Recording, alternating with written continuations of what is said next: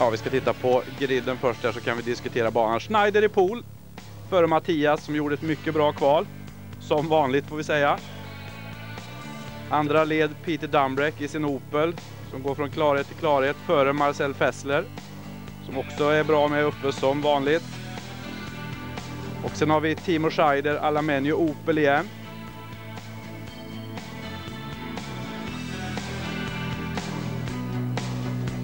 Femte startled, Laurent Aiello i en, i en Audi och Jean Alesi i en Mercedes. Sjätte startled, Christian Albers i en Mercedes och Carl Wendler i en Audi. Och sen har vi Christian Abt och Manuel Reuter. Värt att nämna också då att eh, de har bytt bilar här på, i app-teamet. Vi kan väl säga också att vi har Winkelhock och Blekemålen då i sjunde ledet, eh, 13 och 14 ruta. Efter lite incidenter på eh, träningen så smällde de sina bilar och åker då röda Audi istället. Fyra, fem lampor tända och det går starten och det är Schneider först iväg. Mycket bra start. Ser Mattias är inte riktigt på hugget här, gjorde en dålig start. Det är Dambreck tvåa. Mattias kommer iväg som fyra ser det ut som. Fyra eller femma. Fyra ser det ut som. Fyra ja. Ja, inte bra. Han hade nog hoppats ta starten här men eh, det är långt kvar. Vi ska åka 35 varv. Värt att nämna att det är oerhört varmt där nere, cirka 35 grader. Skulle tippa på en 80 grader i cockpiten. Vi har Schneider för Dumbreck, Fessler, Ekström, Menu, Aiello och Alesi. Ja, vad säger du om banan Pontus? Det är en ganska avancerad bana det här. Det är det. Det är ju egentligen en ovalbana där de har då byggt en vanlig bana inuti den här ovalen. Eh, vilket gör att banan är väldigt speciell. Eh, den är inte lätt att lära sig. Jag vet när jag körde här eh, 2000 när banan var invigd så tog det de två minuterna vi hade till test var väl mer eller mindre lära sig banan innan man kunde ställa in bilen.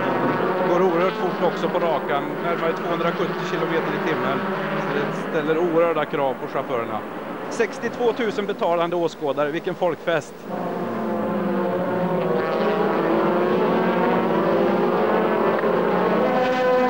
Ja, Mattias ligger kvar på sin placering här. Se om man kan avancera någonting. Schneider har ju gjort ett kanonkval här. Snabbast på eh, det vanliga kvalet och sen slog han till med en tid som var en halv sekund snabbare än Ekström på Superpoolen. Så han har verkligen revanscherat sig från föregående här. Och här kommer man ut och på valen precis som du säger Pontus, så här går det undan. En halv sekund före Dambrek och så vi ser Mattias på fjärde plats och cirka två sekunder efter. Så man kan avancera några platser och plocka så mycket poäng som möjligt. Och här kommer alltså en röd, en röd Audi men med en gul förare i då får vi säga. Det är alltså Christian Abt och Laurent Aiello som idag åker de röda Abt-bilarna efter att ha kraschat sina båda gula på träningen och då plockar man bort juniorerna och stoppar in gubbarna. Mycket imponerad av Peter Dumbreck här som följer Schneider ganska lätt ser det ut som. Peter Dambeck är väl den Opel-föraren som är vassast just nu. Ja, jag förstår att du säger det, för du hade väl fullt upp när du körde mot honom i Vauxhall Junior i England, stämmer det? Ja, det stämmer bra, 94. Och det är länge sedan. Nej, vi får väl säga att eh, det, är ju, var ju tre Opel bland de sex bästa på Superpoolen och det är ju klar framgång. Visst är det. Och här har vi Stefan Mycke i depå. Ser färdig ut, kört ut här. ja. Schneider, Dumbreck, Westler, Mattias och sen var det Allan Menjo. Det gäller för Mattias där att inte tappa för mycket till Fessler så att eh, kommer ikapp så han är tvungen att koncentrera sig bakåt. Det ser rätt så stadigt ut överlag här, topp 10. De åker på ungefär samma tider allihop. Med de här temperaturerna då gäller det att vara rädd om gummit så att säga. Inte stressa sönder däcken och det är nog det vi ser. Alla känner nog lite grann på förutsättningarna och eh, vilken depåstrategi de ska ha. Det gäller ju att hålla ett, ett jämnt tempo med varvtiderna där så att man inte ena varvet kör på väldigt aggressivt och sen släpper av och då nöter du sönder gummit och då eh, tappar man väldigt mycket efter ett par varv. Precis. Däcken svimmar av, då är det över. Kan vara värt att nämna att eh, Mattias var väl cirka 5 kilometer långsammare på rakan än vad Bernt Schneider var. Och det är klart, det, det märks. Men eh, i gengäld kanske han har lite fördelar på andra ställen på banan. Det verkar som Mercan har lite bättre svung i motorn. De har väl haft det de senaste åren. Och, eh, men den verkar jämna ut sig ändå. Audi-bilarna verkar ha en väldigt bra väghållning. Här har vi Volker Strajcek som är ny, ny, nybliven vinnare av Nürburgring 24 timmars i en Opel Astra tillsammans med eh, en del DTM-chaufförer. Och vem var snabbast utav dem? Ja, det var Volker Strajcek. Men han kände nog till den eh, Nordschleife-slingan på Nürburgring lite bättre kanske än vad Peter Dambrek gjorde. Förmodligen. Ja, vi har fortfarande Schneider före Dambrek. Fessler. Mattias är lite närmre tycker jag. Sätter lite press på Fessler. Här har vi Norbert Haug som står och tuggar tuggummi och ser lite oroad ut. Fessler har lite kast. Det ser lite instabilt ut under inbromsning och det kan ju hjälpa Mattias att få lite slagläge. Här åker vi med en eh, röd Aptaudi. Aiello ja. Och eh, han hänger inte riktigt med som det ser ut. Det är en lucka fram här men eh, okej okay, det är inte hans egen bil och vi får väl inte ställa för stora krav kanske på honom idag. Ja, det verkar som de fem första här har lite mer speed och lyckas att dra ifrån. Ja, helt klart. Efter menu så är det två sekunder ner till Aiello. Så att eh, där går gränsen någonstans för de som ligger med i tätklungan. Och sen har vi en klunga på fem bilar igen. Med Alesi bakom Aiello. Det ser ut även som Schneider ytterligare går ifrån Dambrek lite lite varje varv. Ja, och Dambrek drar ifrån Fessler, men Mattias tycker jag är bra på stöten nu och där bromsar han på sig va? Ja. Får ett riktigt kast ut här och Mattias är uppe på tredje plats med Enjo 4. Bra, tycker vi. Jättebra. Fessler gick lite för fort in i, i den högen där och helt enkelt tappade fäste och låste upp. Ja. Väldigt lätt hänt mycket lätt hänt ja. Men eh, det tar bara att tacka och ta emot för Mattias. Här får vi en repris från Mattias bil. Ja, det låser upp inhjulet och så går det rakt ut. Den slet sig. Den slet sig ja. Men han tar tillbaks kontrollen och eh, kommer ut på banan igen lite längre ner i fältet. Det tar ju också några kur kurvor här för Fessler när han då har varma däck och åker ut i gräset och gruset här och får upp det här på däcken så tar ju några kurvor innan det rensar bort lite grann. Då, så att, Precis, äh, men han är ändå kvar. Han ligger på femte plats här enligt datorn och äh, har då inte tappat speciellt mycket. Här ser vi honom i bild också. Aiello fick inte riktigt slagläge. Menio ser eh, oroväckande het ut tycker jag för Mattias, men äh, ja, vi får se. Otroligt två Oplar topp fyra. Det ja, var det länge var, sedan och ja. det är kul tycker jag för det, nu har vi tre bilmärken här som slåss stenhårt om segrar och det är så det ska vara. Viktigt för mästerskapet. Ja.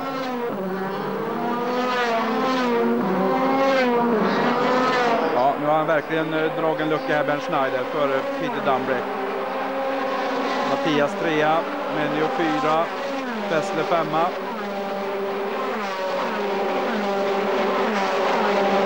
Värt att nämna kanske det vi såg att de svängde av vänster. Där åkte de alltså hela ovalslingan på träningen men hade lite problem med eh, överhettade däck. Och ja, där har vi en repris på starten. Det var Reuter som gjorde en hygglig start va?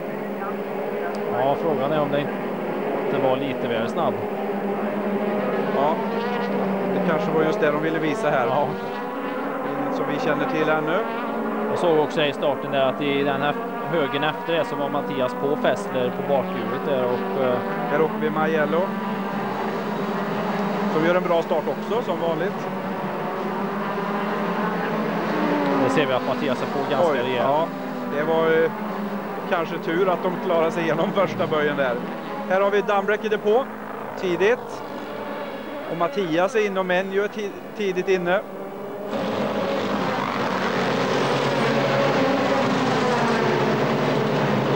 Det. De åkte hela ovalen, eller halva ovalen då, och hade väldigt stora problem med däcksseparationer och eh, beslutade sig för att åka den lite kortare slingan eller den långsammare slingan och det kanske var lika bra då säkerhetsmässigt.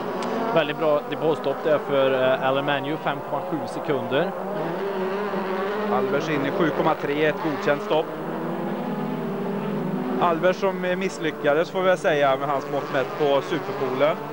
Kvalar bra men eh, ramlar ner då på Superpoolen eh, lite grann. Det är alltid så när man är ny chaufför i en fabriksbil och att det är mycket nerver som, som spelar in på, speciellt på ett sånt här superkval och eh, han har väl ändå visat hits att han eh, kan vara med i matchen. Absolut, men eh, pressen ökar. Säkert från han själv också. Då är det lätt med en lite för sen inbromsning kanske. Här har vi Menju som är uppe. Åker mycket bra. Mattias får passa sig här nu. Det är Kanashi som eh, blir varvad som vanligt. Nu var elak va? Men det var sant. Och fortfarande i täten har vi då Schneider. Tidiga stopp överlag, lite förvånande. Ja. Kan ju bero en del på värmen också, att de har taktiskt att de vill gå in tidigt för att hålla ett högt tempo i början. Eh, för att försöka rycka. Precis. Ska vi se här. Ja, då kanske vi kollar hur däcken tar stryk och lite sånt här också om vi får sitta och spekulera. Ja. Här har vi Fessler.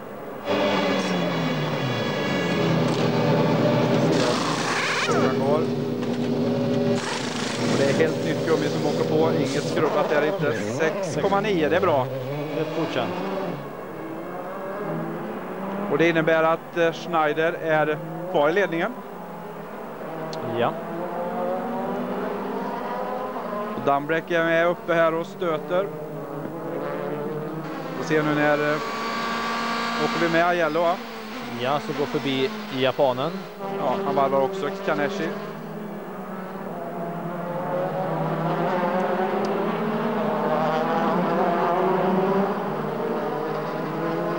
Värt att nämna kanske att eh, Alesi inte har varit inne än och inte Fessler heller. Och vi har lite varierande strategier. Här åker vi med från bilen.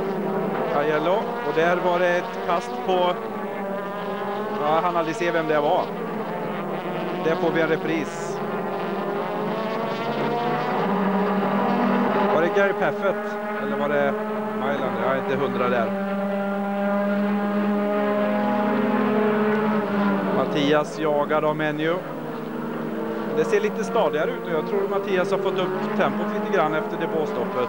Ja. Det kan ju vara så ett, ett set däck är bättre än det andra eller om de hade justerat trycket eller någonting. Visst är det så. Mattias kan ju då givit information då till hans chefmekaniker att eh, däcken går alldeles för varma. Jag vill ha mindre luft i däcken till exempel och, och ändra det här och det känns betydligt bättre. Sen kan faktiskt de här sätten skilja sig. Eh, även om det ska vara samma serie så kan de faktiskt vara olika, eh, olika känslor ifrån. Och, därefter kan man ju köra aggressivt också. Precis, där hade vi Alesi det på och värt att nämna också som vi såg skylten Dambrek snabbaste varv hittills i racet. Sex sekunder på Alesi, mycket bra stopp.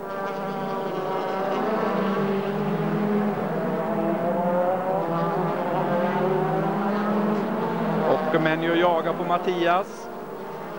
Fjärde plats. Där har vi en, en rätt hård fight. Får se upp nu, Avestabon. Alesi kom precis ut framför Christian Albers. Ja, han avancerat lite grann Albers, men inte några jättestormsteg direkt. Han verkar inte riktigt ha samma fart på den här banan som han hade på förra, Nej, förra racet. På Nürburgring var han ju helt outstanding får man säga, men eh, här går det lite tyngre. Nu kommer Fessler in för sitt stopp va?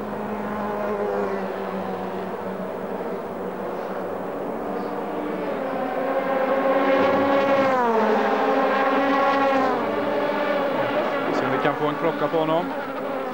Jajamän. Det var ett bra stopp. Ja, det är det bästa, det bästa jag har sett den här säsongen. Snyggt jobbat. Ska vi se om han kan ta några placeringar. Menu jagar. Som vanligt. Ja, Fessler behåller sin femte plats va? Han kom ut där efter Timo Scheider i Opel Astra.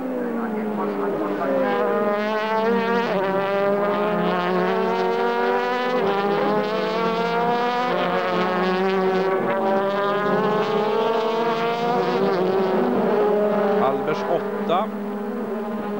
Apt 9. Apt har inte gjort så mycket väsen av sig idag.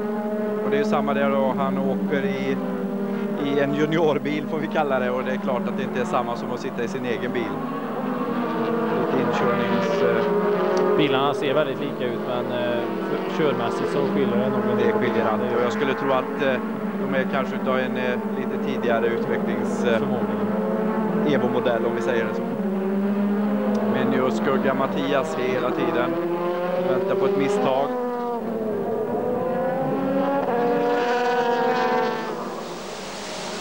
Här åker vi Malesi. Vi får se om vi får åka med på rakan här om det är någon bättre fart på Mercan.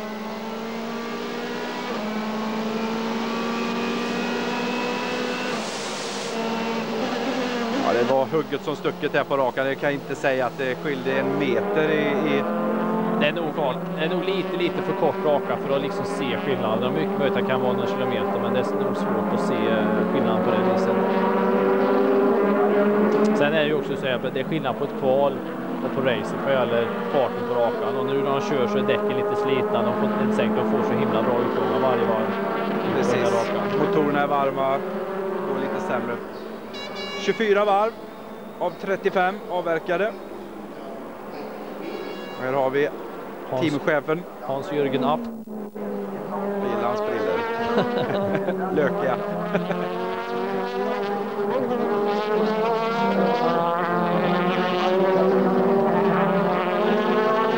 ja, det är Alesi som och stöter på på, är det Apt han har framför sig eller är det Aiello?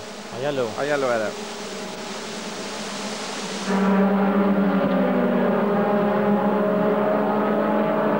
Skiljer lite på varvtiden här. Ser vi mot snabbaste varv på Dumbreck så är det nästan en sekund långsammare på Alesi.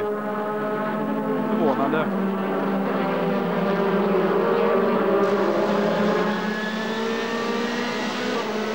Härlig anläggning. Ja, otroligt. Den är ju byggd precis mitt ute i skogen eh, där det inte fanns någonting förut utan det är en enorm anläggning med, som tar jag tror över 150 000 åskådare. Och där åker man också då IRL och kart. Då åker man på ovaldelen enbart.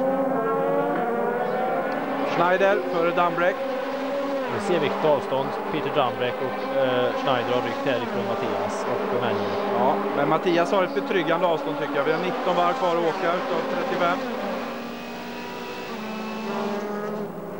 Vi har fortfarande ett stopp till att göra på allihop så att eh, mycket kan hända.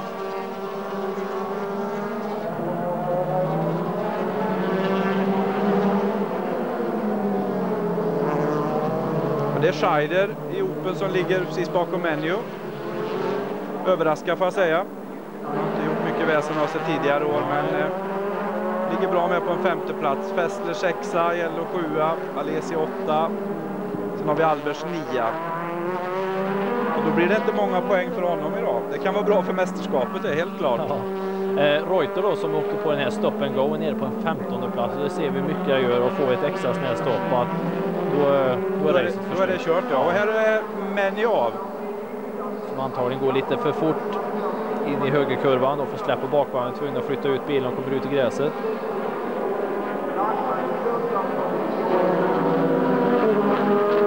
Oh, här blir det tajt precis. Och då har vi Albers på poängplats. Vi precis pratat om det innan. Bäst att vara tyst här. ja, det är ju viktigt eh, alltid ett långt mästerskap att ta så mycket poäng, även om man ligger långt bak och det känns väldigt frustrerande som förare. Här ser vi en repris på Alumania. Han får rejält överstyrt. Ja, det var inget eh, oschysst med det, utan det var ett rent förarmisstag som det såg ut. Kom lite för fort in. Som vi sa det också, är viktigt att ta poäng och även om det kan vara frustrerande för en förare att ligga 9, 10, 11 när man vet att man kan vara där framme så är det viktigt ändå att ta sig i mål och köra så mycket det går. För man vet aldrig, det kan vara folk som bryter och man har de extra pinnarna när det väl är sista racet. Ja, en pinne kan ju vara avgörande. Visst, visst är det så.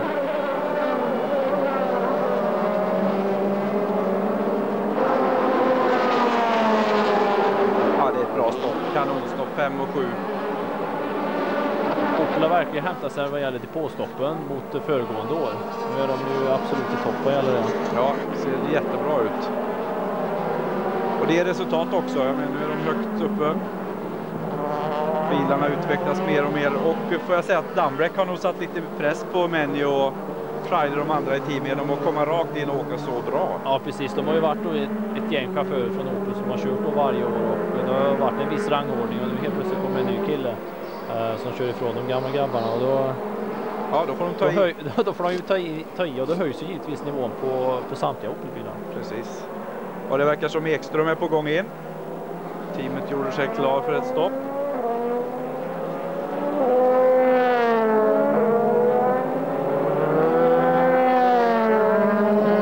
Man ser att de inte. Händer någonting som det gjorde på Nürburgring utan att allt flyter perfekt så att han kan fortfarande ha tredjeplatsen i behåll. Ja, det var ju disaster. Första så tappar de en mutter ur hylsan och andra så skar den. Ja, nej, det... Men det är sånt som händer. Det är sånt som händer. Det tillhör... eh, Ska vi se här.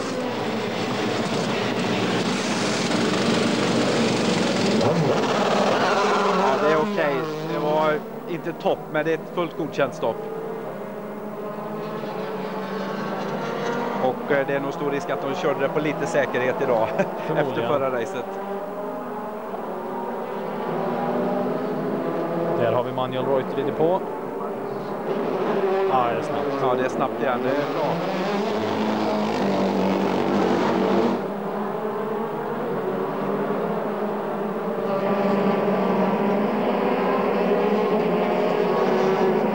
Här har vi en... eh, Jag vet inte vad det var. Om man låste upp Ja, bara han bara upp lite, Ja. lite för fort in. Nu börjar de ramla in de flesta här på sitt andra stopp. Sen eh,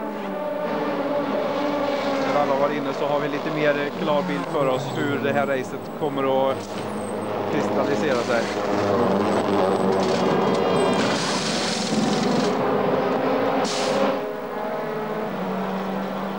Här gick det inte snabbt iväg. Var ett problem. Jag tror inte han hade någon etta kvar där, Aiello. nej, såg skumt ut. De sköv iväg honom. Ja.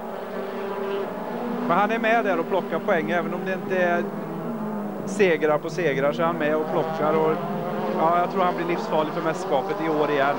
Ja, nej, det är viktigt även när det inte funkar som du säger Thomas, att han plockar poäng. Och, eh, han visade ju förra året att han, var, han är en vinnare så att eh,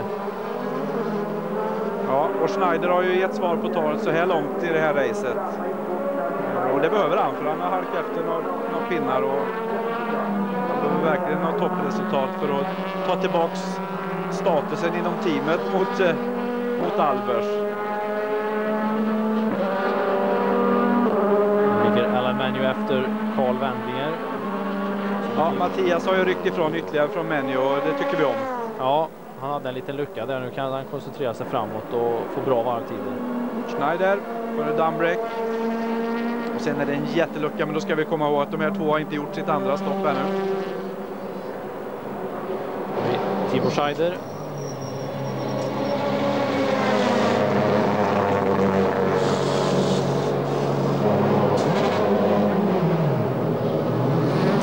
Det är Fessler som är inne för sitt andra stopp.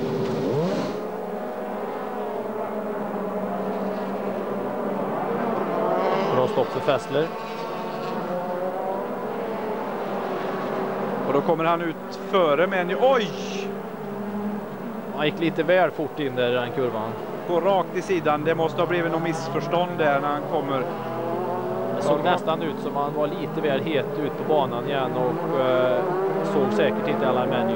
Menio kommer iväg igen i alla fall, men eh, ja, det var ju... Ja, det var tungt. Det var tungt. Han gjorde ett bra jobb så långt Menjo, men här får vi kanske här får vi en repris. Man ser inte exakt, men går rakt ur depån och klipper in i sidan på Menjo. Det får han nog ta på sig. Det var nog ett eh, missförstånd från Ja. båda förarna. De, såg nog inte riktigt vad de var.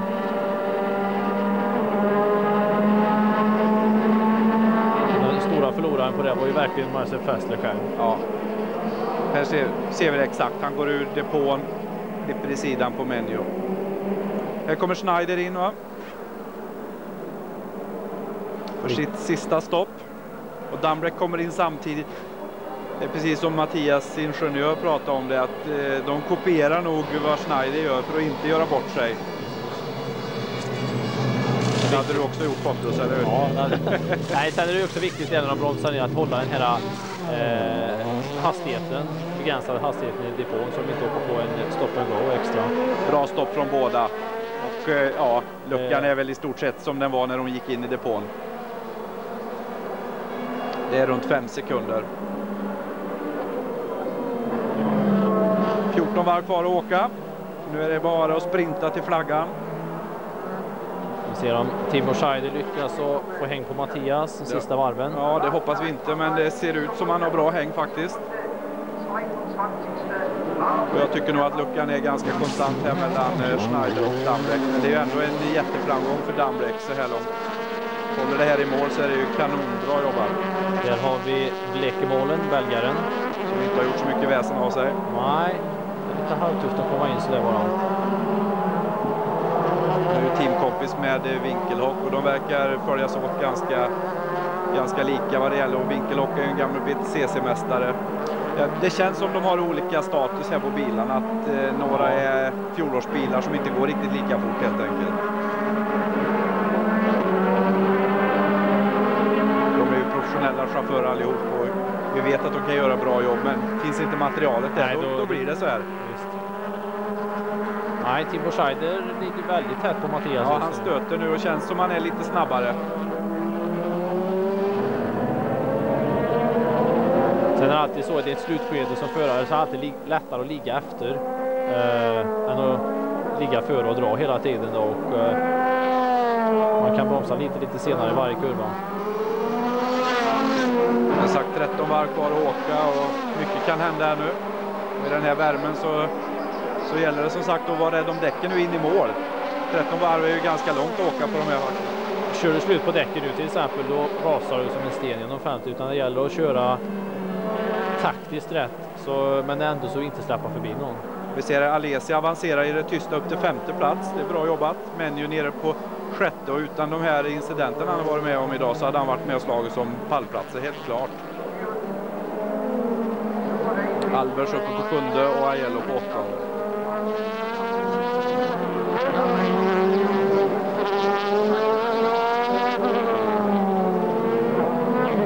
Här har vi då.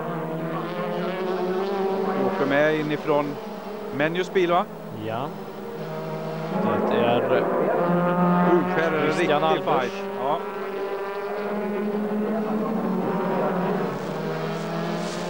Han vill nog väldigt gärna ta Allen Menju där och få lite mer poäng. Ja, precis som vi pratade om tidigare så kan det vara det som avgör mästerskapet. Vi såg också där efter då när Manamanjo gick ut lite för långt så följde han efter Elvers efter Manjo kom ut lite, lite i gräset och tappade lite på det. Sen har vi Aiello en bit bakom. Vi ser en repris på här. Han försöker ta lite innerspår och så följer han Elemenio som går lite långt ut. Vilket tror att det lurar honom så han kommer lite för långt ut i gräset. Ja, det kunde vara färdigåkt där med lite otur. Men han är med fortfarande, skuggar. Scheider ligger någon meter bakom Mattias. Stop and go. På nummer nio. Och det är Fessler? Fessler, ja. Det måste vara med den eh, depå när han kom ur depån, incidenten med Menjo. Det var väl helt rätt att han skulle få någon form av straff där tycker jag. Det såg ut som han gick över den här vita linjen då, som är väldigt viktigt att hålla och i och med det så gick han ju på väldigt skarpt mot Elemenjo. Hade han hållit den linjen där så hade det säkert aldrig inträffat. Vilket hjälper Menjo föga men rätt ska vara rätt. Precis. Han ska ha sitt straff. Ben Schneider alltjämt i ledningen för Peter Drumbeck och svensken Mattias Ekström är trea. Följd av Timo Scheider i Opel. Ja, kan Mattias hålla det här in i mål så är det ju jättebra om man jämför mot förra helgen. Så att, eh. det, är ju viktigt, ja, det är ju viktigt nu också att få de här poängen här nu så han inte tappar mästerskapet. Nej, det är otroligt tajt här uppe i toppen och det gäller att hänga med och att teamet får lite arbetsro vad det gäller depåstoppen och sånt där och kan bygga på igen och göra... Få upp förtroendet? Ja, chansa lite mer kanske på att göra riktigt snabba stopp.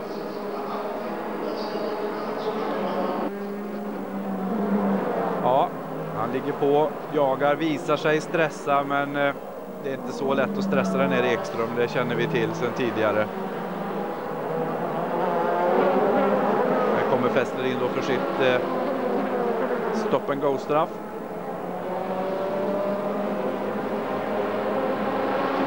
Och då är hans dag förstörd. Ja, nej, efter det här så... Eh, Han låg utanför poängen redan innan, men det lär inte hjälpa till det här. Och han lär inte hamna topp 10 idag.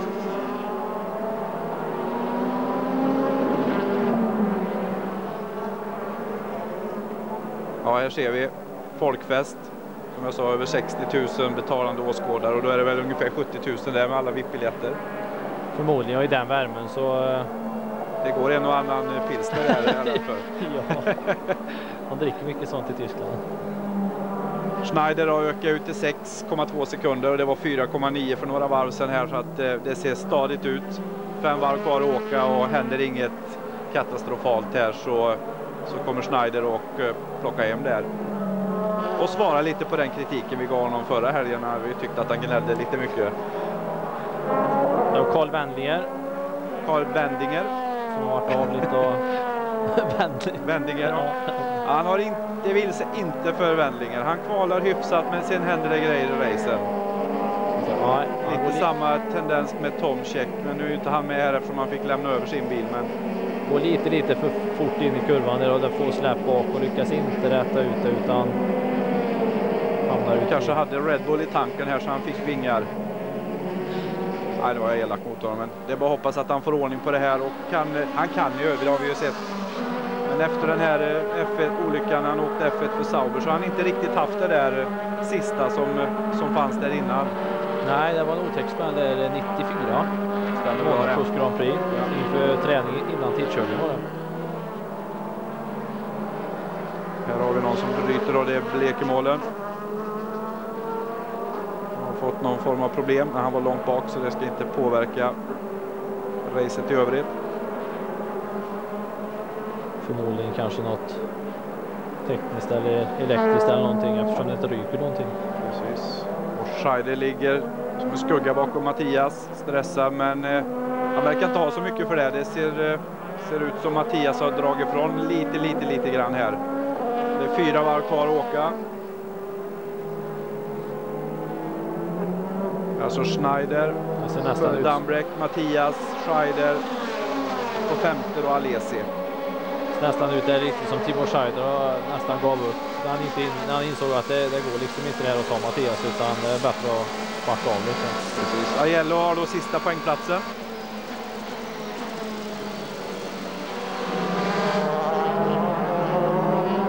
Och det trodde han nog inte på fredagsträningen när han skrotade sin bil totalt att han skulle få någon poäng med sig härifrån. Det har han ju inte ännu i och för sig för vi är inte i mål men så här ser det ju stadigt ut. Det är inte så jättelångt fram till eh, Albers och Menio så att helt kört är det inte. Även om det är 4-5 sekunder som vi ser. Han har inte gett upp. Sen har vi Christian App på nionde. Sen har vi Joakim Winkelhock tätt följt av Marcel Fessler som går om. Fessler alltså uppe på tionde plats men det är inga poäng för det som vi sa. Jag var tuff och sa att han inte skulle hamna topp 10 men eh, det fick jag fel.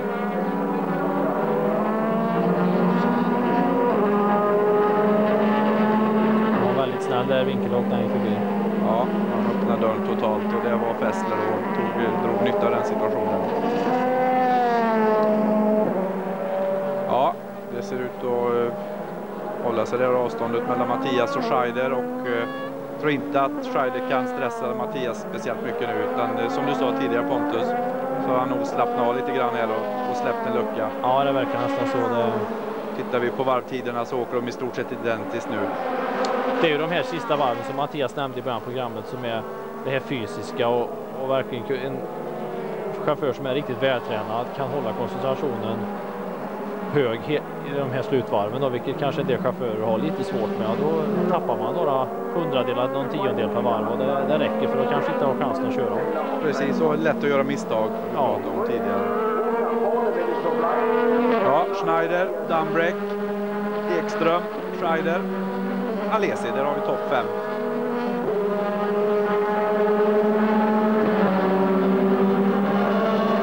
Schneider verkligen eh, levererat får vi säga i utan minsta problem. Inga hopkörningar, inga problem i depån.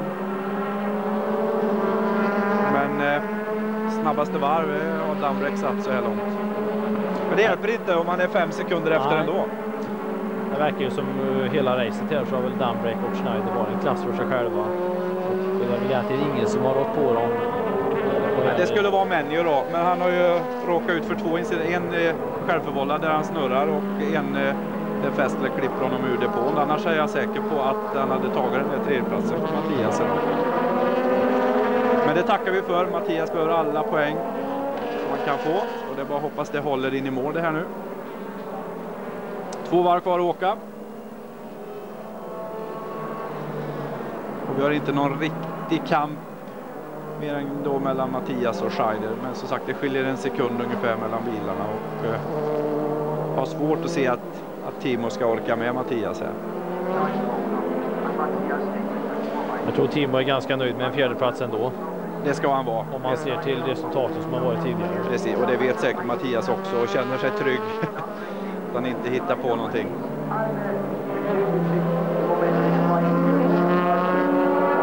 Och då har vi alltså tre stycken Opel på topp sex här i, i racet.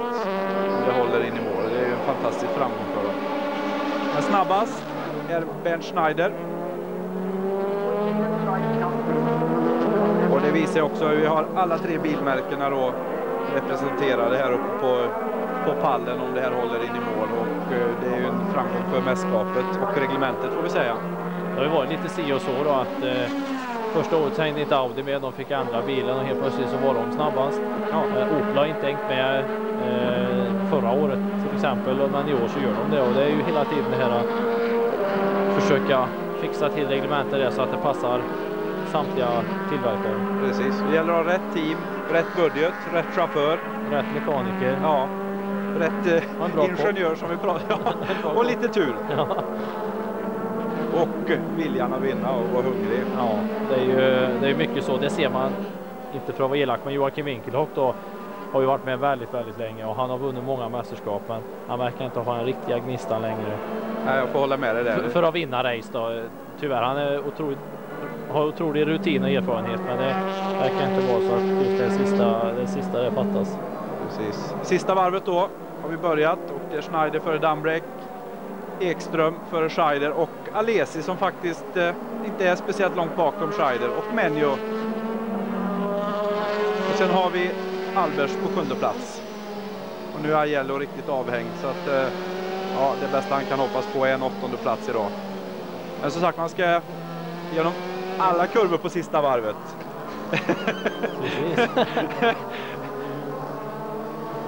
Det har vi sett prov på innan. Ingen nämnd.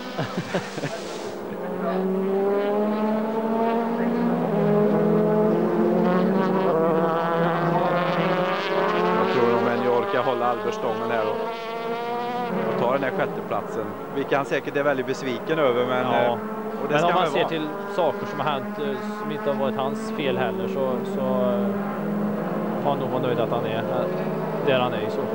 För det kunde ha slutat värre den smällen Oh ja. med. Han kunde ha nollat idag, helt klart. Och som det känns nu så är det en tidsfråga innan vi har en Opel överst på pallen. Det är nog inte frågan om utan när som du säger där. Så att, Precis. Och här är Schneider då. På väg mot den eh, rutiga flaggan. Och sen vill vi ha Ekström överst på pallen snart också. eh, ja, det måste vi ha. Bernd Schneider går in som segrare. Den fjärde deltävlingen i Lausitz ring. Ja, det var ett eh, hundraprocentigt jobb får vi säga honom och teamet den här helgen. Dambrek eh, 99. 99, ja. Nej, Jag tror nog att teammässigt så är nog Opel gladare än vad Mercedes är. För eh, de har verkligen behövt att vara på pallen och tvåa är väl var ett tag Och. Mattias håller tredjeplatsen. Snyggt jobbat. Det var att gratulera. Vi lyfter på hjälmen. Och sen har vi Scheider 4 som också ser rätt nöjd ut. För Alesi, Menjo och eh, Christian Albers. Då är det sista poängplatsen och den tas av eh, Aiello. Ja, det var kanske inte det mest spännande racet vi har haft i år, men det var ett, ett bra race. Det var depåstopp som avgjorde lite grann. Det, alla gjorde bra stopp idag får vi säga. Speciellt Opel måste jag säga. De var otroligt snabba stopp. Ja. in i årets